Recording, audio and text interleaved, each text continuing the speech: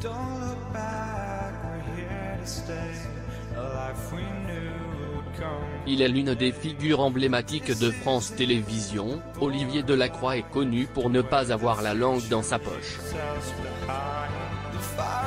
Invité dans le buzz télévision de Télévision Magazine, le journaliste n'a pas hésité à tacler Karine Le Marchand et son émission de dating sur M6. Venu pour parler de son documentaire Femmes du Nord à découvrir ce soir sur France 5, Olivier Delacroix a été invité à réagir sur l'amour et dans le pré. Une émission qui elle aussi, à sa manière, suit le quotidien et les difficultés des agriculteurs sous fond de romance.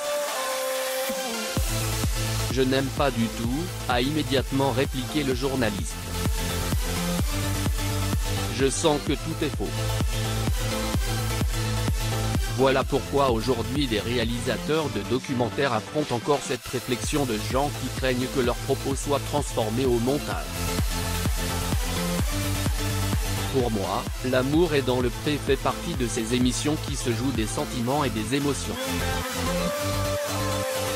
Elle n'aime pas les gens autant qu'elle le dit au sujet de l'animatrice, Olivier Delacroix n'est pas tendre non plus.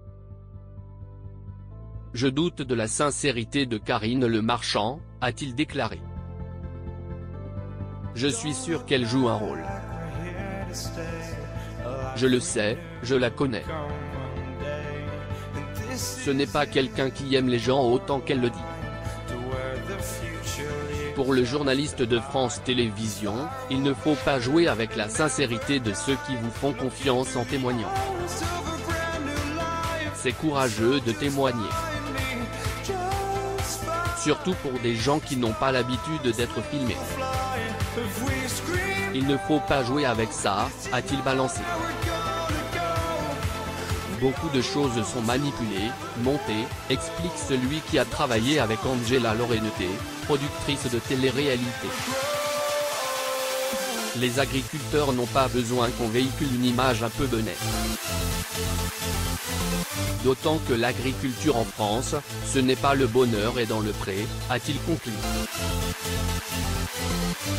Pauline Conseil.